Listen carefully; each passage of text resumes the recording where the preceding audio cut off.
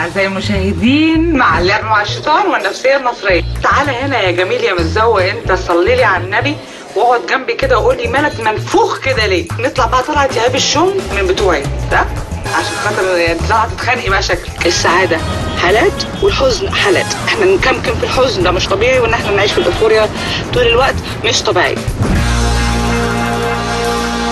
تقعد عليها دي ده لا طول اليوم. تقعد على الفيسبوك قد إيه؟ 12 ل 13 ساعة مثلا لو مفيش نت هتعملي إيه؟ هنعمل نت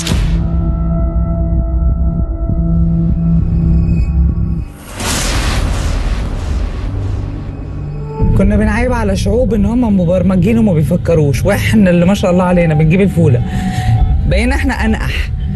مشاكل طلاق عقد نفسية عقد جنسية فقر آه، جهل استسلام للجهل.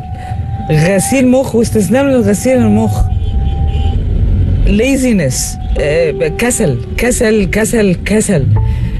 ولغاية ما وصلت المرحله إن هي بقت إدمان أو أو أو دخلت في المصطلحات العلمية FAD هنزل دلوقتي الشارع المصري عشان نشوف الشباب بيستخدموا فيسبوك في إيه. غير البوك واللايك وال- والتوك والإنبوكس والتحرشات اللي بتحصل على الفيسبوك.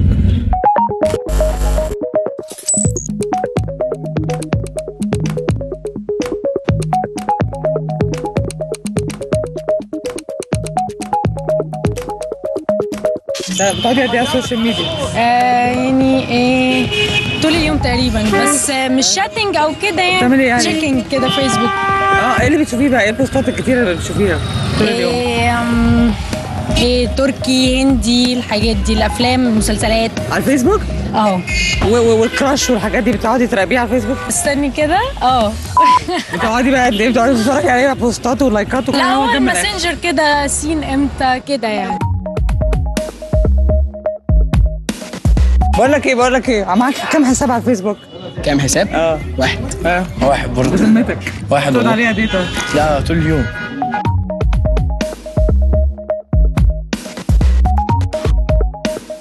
عندك فيسبوك؟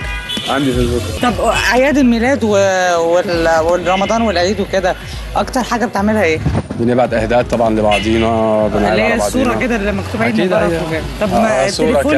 وطبق كده وعدى عليه مفيش؟ تليفون هضطر اتصل ب 100 200 شخص لكن بس ال 100 200 شخص دول ناس تعرفهم حقيقيين في حياتك يعني على الفيس مرة واحدة بتروح للكل بقى بننجز بنريح آه بننجز بيريح معايدات كارت متسجل ويلا shoot post ل 100 واحد هي دي معايداتنا. بدل الطبق الدوار بدل ما ترفع سماعه التليفون وتاخد وتدي وعامل إيه وازيك والكلام ده كله عشان من باب ان هو عيد يعني بيحصل مرتين في السنة ولا ايا كان الأعياد إمتى. بقت بقت دي اجتماعياتنا بقى ده آه، آه، صلة الرحم بيننا وبين بعض. أنتوا مش واخدين بالكم إن الموضوع ده بيسبب جفاف جحد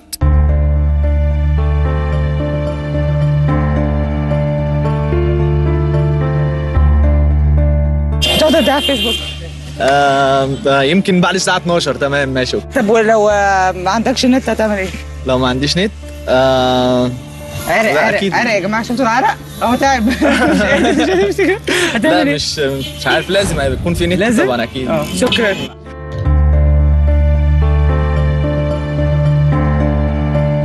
كم سؤال؟ ها؟ عندك كم سنة؟ 22 بتقعدي قد إيه على ال social media بقى؟ 22 سنة بقى 24 سنة لا مش كتير قوي يعني. بس أنا بقعد آه كتير. كتير. okay أهو أهو أهو متلبسة أهو. ده سناب شات أهو ما ده social media ده. أهو ما أنت فاتحاه عليه هو طب خلاص. لا. لو في فضايح والكلام ده كله النا- أنت بتتفرجي عليها قد إيه؟ فضايح؟ لا لا لا ما حرام. بتحسي إن هي حرام. لا، هو حرام. ما هي حرام. بس انت بس بدا حب استطلاع بتشوفيها ولا عارفه يعني ما تعرفيش اخر فضيحه حصلت إيه؟ لا إزاي؟ إيه اللي حصل اخر حاجة لو ما فيش نت هتعملي إيه؟ هنعمل نت. لا ممكن يبقى عندنا أوقات ح- يعني هنخ... هيبقى عندنا أهمية لحاجات بقى اللي إحنا يعني إحنا لازم نتعلم لك النت عشان تحطي الأولويات؟ يعني إحنا نخلي النت زيادة مثلا بنعمل باقة. مش عارفة نعمل كل ده كلام. بنعمل باقة. آه بتعملي باقة الصرف طب لو ما فيش باقة ما فيش أي حاجة من الحاجات دي وفجاه قطع يوم بحاله. بقى. عندهم نت في البيت. لو لا كله اتقطع. كله. كله مقطوع. خلاص بقى اعمل إيه؟ مش هتزعلي؟ مش هتحسي في حاجة لا، ناقصة؟ أنا طيبة مش عارفة. حاجة؟ العظيم أنتوا أنتوا كويس يعني ها في حاجة على الأقل إن إحنا حد عايز يشتغل. قدام ال عشان قدام الكاميرا. نهار أسود.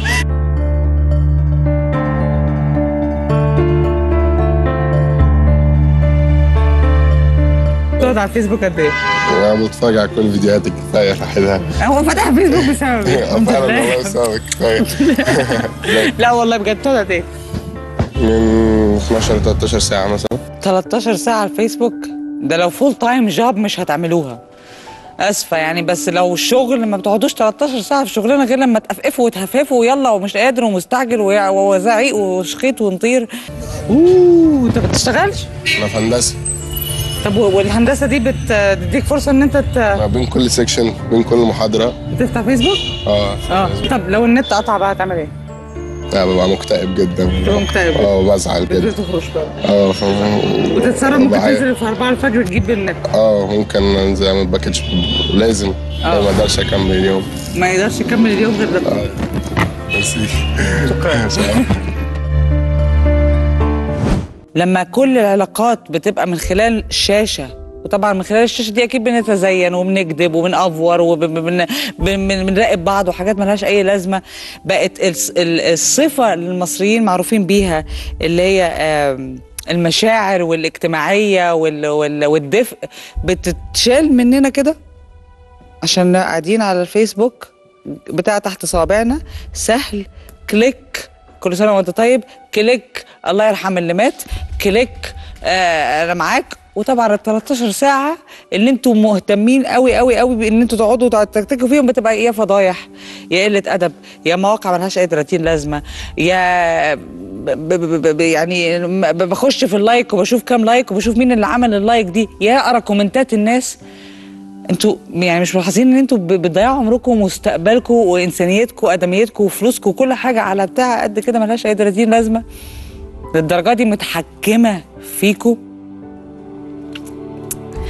آه لما لما نزلت الشارع عشان أفهم المصريين بيتعاملوا مع الفيسبوك إزاي وقعدت قعدت أقرأ شوية عن أبحاث لقيت انه إنه في مرض فعلا بالفعل مرض والشارع أكد لي وجود المرض ده.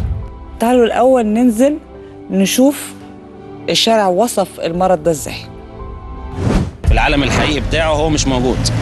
فبيهرب للعالم الافتراضي عشان بيلاقي نفسه فيه. أخبار الدنيا فيها إيه؟ سريع كده وبخرج كل ما أفتح يا إما واحد غير صورته يا إما 9000 خبر زي الزفت. يعيشوا actual life بدل ما هم عايشين في virtual life كده.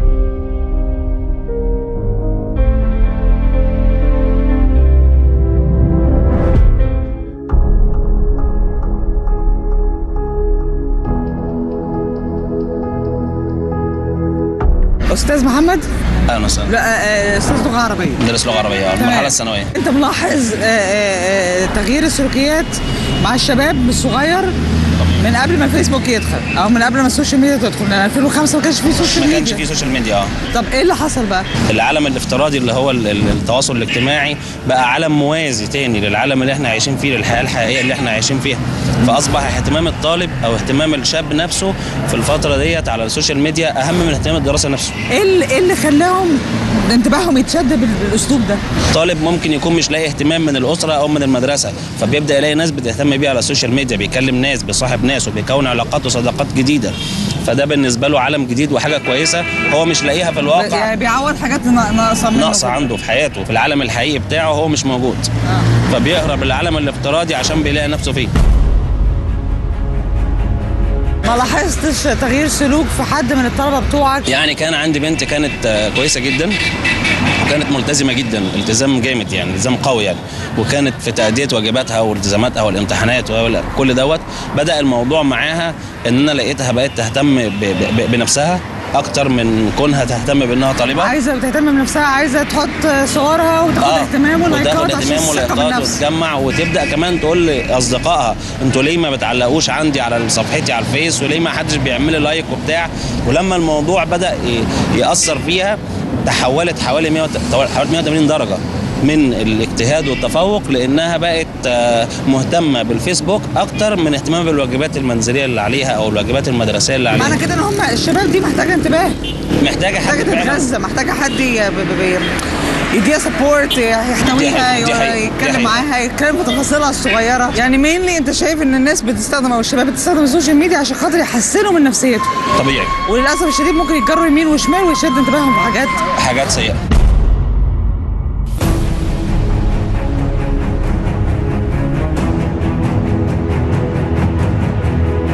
تعلن على السريع بالجوب الحلو الطعم ده جميل قوي. انت عاوزي تتفرج على إيه عليه أخبار الدنيا فيها إيه؟ سريع كده وبخرج. طب وأخبار أخ-. بيفيدك في شغلك؟ زي إيه بالظبط؟ إيه؟ يعني أنا graphic designer في group ل- جروبات للحاجات الجرافيك والديزاينرز وال designers وال 3D والحاجات. تمام يعني معظم معظم الوقت بتحاولي تستغليه عشان يفيدك في شغلك. مظبوط. اختارت إن هي آه، تستخدم ال social media عشان خاطر شغلها. ده جميل جدا. بره بيعملوا كده. لو قعدوا شوية على ال social media اللي هو حوالي شوية كتير قوي قوي بالنسبة لهم آه 20 دقيقة. لو كترت عن 20 دقيقة ده يخافوا يقولوا أنا كده مدمن أنا كده بسلم مخي للغباء. طب والناس اللي حواليك يعني صحباتك أو ايا كان اللي بيحطوا حاجات سلبية طول الوقت وفضايح وياما لا لا دول. بعمل لهم block. block على طول وش ما آه، مش بتستنيش مش. عايزة نكد. بالظبط آه،. واللي هو بيدعي الفرحة طول الوقت والعز لا، ده والنغنغه برضه. لا، لا، ده ما انت بتستشفي. آه. مصداقيته من آه فيسبوك. بالظبط. بيبان بتبان. آه وبعدين كل واحد عايش شخصية بره غير الشخصية اللي على الفيسبوك. الناس في الشارع ما بتقولش الحقيقة. الكاميرا لما تكون شغالة الناس بتتجمل وما بتقولش الحقيقة. البنات قالوا لكم كده. يعني مش أنا اللي من عندي. ممكن اسالكم سؤال على السريع؟ هي الصدمة الأولى بتبقى قوي كده مرض إدمان الفيسبوك نتخلص منه إزاي؟ ما أعرفش والله ما عنديش فيسبوك. ما عندكش فيسبوك؟ آه ليه؟ قافله كده بقالي فترة يعني. أيوه حلو أنا عايزك كده قبله ليه؟ ملوش لازمة يعني أخبار نيجاتيف وخلاص. لا، كتر السلبيات خليتك أنا مش عايزه. آه هتلاحظ إن أنت يعني ما بقتش كده عندك إحباط أصلا في يومك. أنت لو عايز تساعدها إن- أو تساعد بنات ناس كتير إن هم يتخلصوا من البتاع تنصحهم بإيه؟ يعني انصحهم ما يهدوش بيتهم على الفيسبوك يعملوا أي حاجة في حياتهم يعني. زي إيه؟ إيه الخطوات اللي ممكن ياخدوها؟ يعني, خطوة كده أول خطوة يخرجوا ممكن يخرجوا مثلا يشوفوا ناس يعملوا حاجة جديدة. آه. إيه إيه الفيسبوك بيخلينا انطوائيين آه بيسرق وقت كتير جدا وبيخلي الواحد بيخليه قاعد في محبط البيت آه بالظبط. عارف بيعمل فيك إيه؟ بيجيبك وبيخليك كده. ده اللي الفيسبوك بيعمله فيكوا بيكسركوا كده. كده. كده. عشان أنتوا بقيتوا لوحدكم. نتخلص من مرض إدمان الفيسبوك إزاي؟ لو الواحد قاعد على الفيسبوك فأكيد بيعمل حاجة مهمة. بي يعني بيعمل حاجة مهمة إن هم آه. لو مش بيعمل حاجة مهمة يبقى ده واحد فاضي. الناس اللي عايزين ننصحهم بقى إن هم يطلعوا من جو الإدمان ده والاكتئاب والحاجات دي إيه الخطوات اللي ممكن آه، نساعدهم بيها؟ لا يعملوا log out ويركزوا في حياتهم بقى يعني. يبصوا في الدنيا الحقيقية حواليهم. زيارات خروجات أكتر. آه آه آه. آه. يعيشوا أكتر life بدل ما هم عايشين في virtual life كده.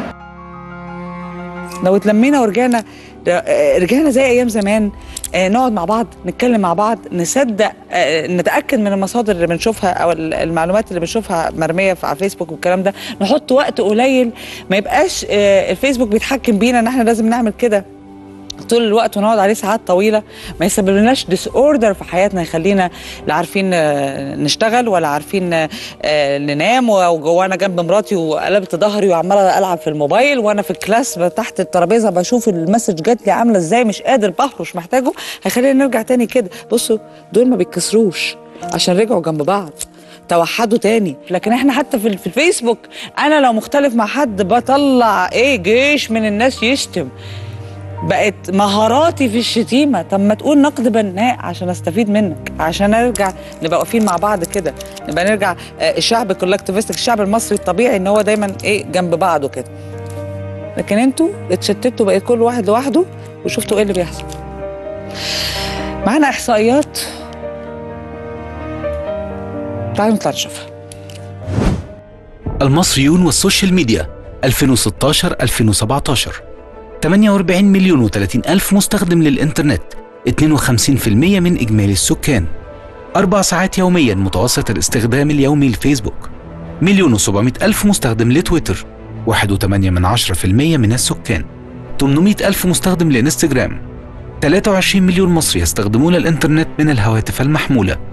18 هو ترتيب مصر عالميا في استخدام أشهر المواقع الإباحية في العالم. يعني لما نكون إحنا وصلنا للمرحلة دي يعني معناش فلوس وبنشتكي والباقة غالية والإنترنت غالي وبنشد في شعرنا لكن نعرف نفتح المواقع الإباحية ون ونتفرج وننتعش ونثقف نفسنا. ده إحنا الإليت اللي فينا ما بيفتحش كتاب يثقف نفسه. مش مجرد بنمر بإدمان إن إحنا بنقعد على النت كتير. والإدمان ده زيه زي المخدرات. يعني ممكن تخدر حد وتستعبده اعمل واعمل واعمل. ممكن زيه زي القمار. تخلي حد مدمن قمار أو حد حد عنده إدمان قمار يروح يسرق عشان خاطر يلعب. أنا دلوقتي مدمن أفلام كذا ولا مدمن إن أنا أقعد على البتاع على الباقة؟ آه، الواد كان قاعد عرقان. إيه هعمل إيه لو مفيش نت؟ هعمل أنا كمية مفيش نت عشان شغلي. آه، أستحمل لتاني يوم عادي جدا. مصممين ان إحنا لازم مهما حصل مهما قعدنا في الشوارع من ساعات نلاقي اي شكل ايجابي في الشارع لاستخدام ال social media وبالفعل لقيناه. تعالوا نشوفها اللي جاب حاول تعلم الناس على اليوتيوب. قال لي فيديوهات اسمها توتوريال وفعلا بدأ الموضوع يكبر وأنزل فيديوهات كتير. أرتب مبادئ في اليوتيوب إن أنا يكون الهدف العام إن أنا أساعد الناس.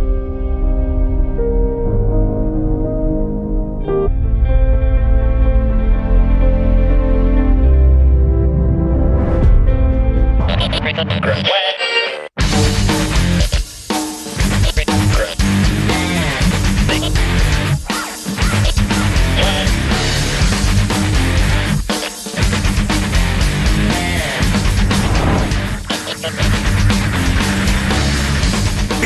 الحدوته بتاعتك انت بدأت على اليوتيوب إزاي؟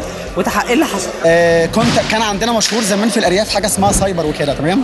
فلما جيت فتحت ال- الكمبيوتر لقيت أفلام لجاكي شان وبروس لي بيقدموا فن فن جميل جدا اسمه فن الكونغ طبعا أول ما شفت حركات جاكي شان وبروس لي انبهرت بيهم جدا. آه، ف- فالمشكلة طبعا إن أنا ما كنتش لاقي مدربين عندنا في القرية. فكنت أنا أنا من قرية تبع الجيزة اسمها المنويات قرية المنويات تمام؟ فكنت بشوف الحركات في الأفلام وأفضل أقلدها كتير. طبعا ده كله كان غلط إن لأن كنت بلعب من غير مدرب أو من غير حد يوجهني فكنت بتعلم بتعلم وبقع وبتعور وهكذا.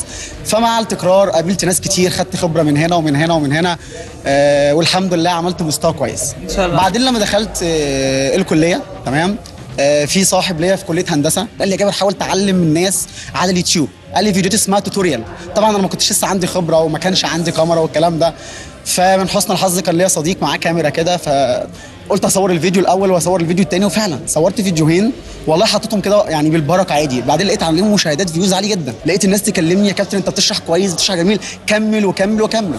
وفعلا بدأ الموضوع يكبر وأنزل فيديوهات كتير وجالي ناس تقول لي إحنا بطلنا المخدرات.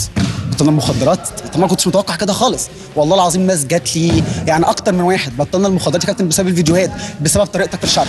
طبعا أنا تعمقت تعمقت شوية في التنمية البشرية وفي علم النفس علشان أقدر أقدم عمقت آه، قريت.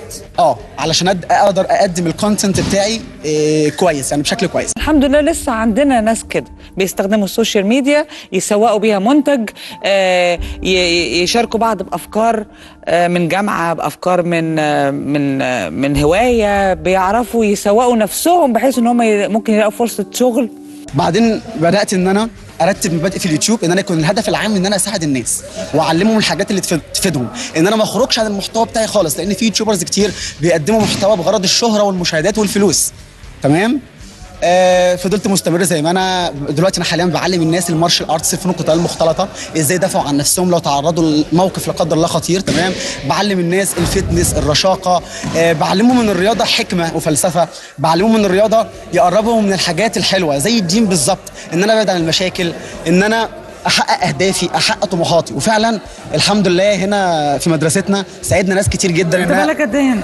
أنا أنا في مجال التدريب بقالي تسع سنين. موسوعة جينيس والحاجات دي جات لك إزاي؟ من اليوتيوب برضه دخلت أقرأ أقرأ عن موسوعة جينيس. كان السبب الرئيسي هو جاكي شان. بعدين لقيت موسوعة جينيس دي فيها كل الأساطير في العالم. فطبعا كان عندي الإلهام قوي إن أنا أخش موسوعة جينيس وبرده الهدف الأساسي عام قلت أنا عندي متابعين كتير جدا. طب لو دخلت موسوعه جينيس أكيد الناس دي هتتأثر بيا. وفعلا لما. لما حطمت اول رقم قياسي بعدين الحمد لله جالي فرص سفر من الصين ومن لبنان من كذا دولة الشباب كلها بدأت تتأثر باللي أنا عملته ده جامد جدا. وكتير يقول لي يا كابتن أنا عايز أحطم رقم وعايز أحطم رقم. وفعلا في حد من تلاميذنا أنا ساعدته إنه يحطم رقم قياسي. فأنا فرحت قوي إن الشاب اتأثر باللي أنا عملته. وبالتالي كل الشباب اللي موجودين دول كلهم نفس النظام اتأثروا من اللي أنا بعمله. في منهم أكترهم أكترهم كانوا لا يفقهوا شيء عن الرياضة بمجرد ما شاف الفيديو يا كابتن إحنا عاوزين نتمرن معاك. من ضمن المواقف اللي خلي اللي خل... حسيت إن أنا أسعد إنسان في العالم لما أكتر من شاب جالي قال لي يا كابتن على فكرة أنا كنت بشرب مخدرات وحشيش وبانجو وي وي وي والله بطلت بسبب الفيديوهات. والله بطلت إن أنا عايز أنا حاسة اتغير إن أنت بتتكلم على الفيديوهات دلوقتي أو ال social media إن هي ممكن تكون أقوى من الرياضة نفسها كسحر. يعني اللي هي ممكن توصل لك الحاجة بعينك. سبحان الله الواحد بي- بيشوف بعينه بيتشجع بيتحمس. أنا نفسي واقفة دلوقتي المفروض أكون بتمرن دلوقتي. واقفة عايزة أتشقلب عايزة أخش معاك وأتشقلب. يا رب آه، ن- نفهم خطورة ال social media. ما ننساش المرض ما ننساش ال- التشتت اللي إحنا بنوصل له ما ننساش الحروب اللي بتحصل في دماغنا ها؟ ون ونشوف الشباب المصرية دي القدوة دي ونعمل إلى حد ما زيهم ونستخدم ال social media بطريقة مفيدة لينا. هنفضل نبرم وندور على المشاكل وندور على الحلول إن شاء الله من قلب الشارع المصري. سلام.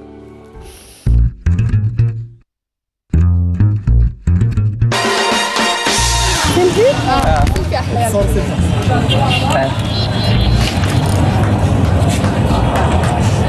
أصلا جيت من أمريكا ليه؟ عشان اجابيزم لا والله العظيم لا لا إحنا نعمل حركه اجابيزم كده بالسلام على النبي في البلد وبعدين